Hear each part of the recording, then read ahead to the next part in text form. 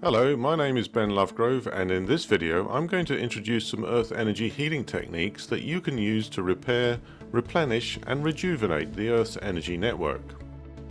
Like all other networks, the earth energy network requires monitoring, change and maintenance. It needs capacity planning, testing and repairs to breakages caused by misuse through ignorance, accident and even willful and malicious damage. Networks have a tendency to grow, to expand, and they need to be updated to cope with the expanding demand. They need to be resilient in the face of temporary outages so that traffic is rerouted when required. If you are interested in participating in the repair and replenishment of the Earth's energy network, then here are a few methods. There is a process to suit just about all character types.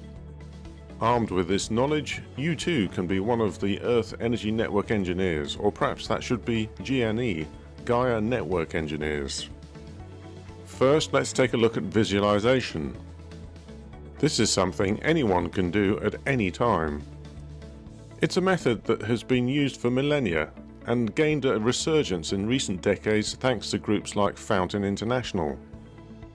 Visit fountaininternationalmagazine.com for more information and to download copies of their free e-magazine.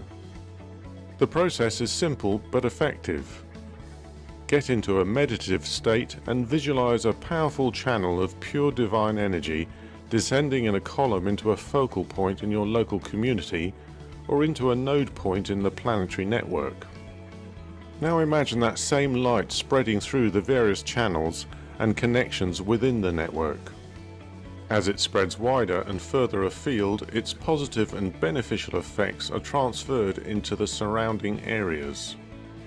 Think of blood spreading through capillaries bringing life and energy, or pure cool water flowing into dried out and dusty pipes.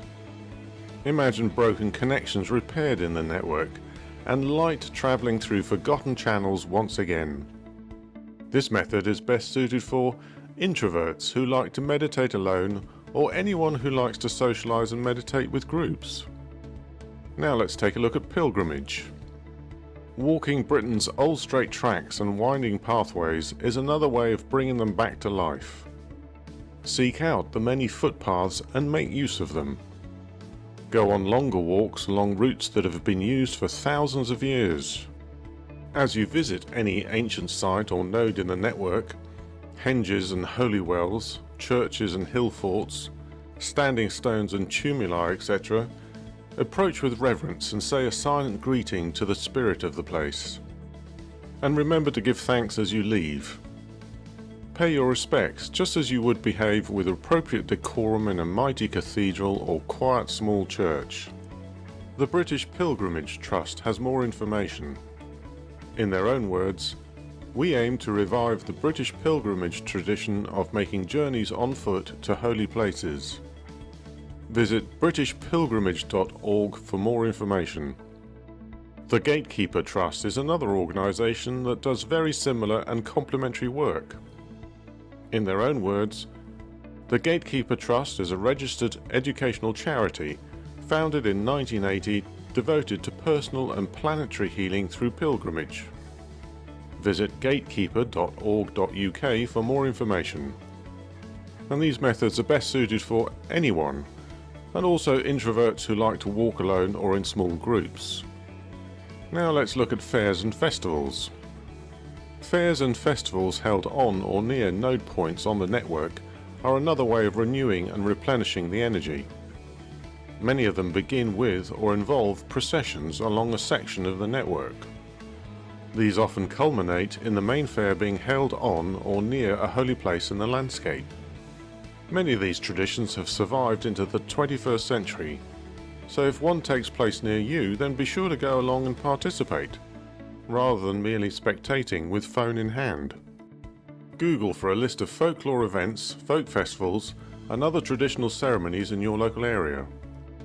You may be surprised just how many there are and how easily you can be involved. But beware, you may be drawn into dancing and singing. Your antics may be filmed and end up on YouTube. And you may experience fits of uncontrollable laughter.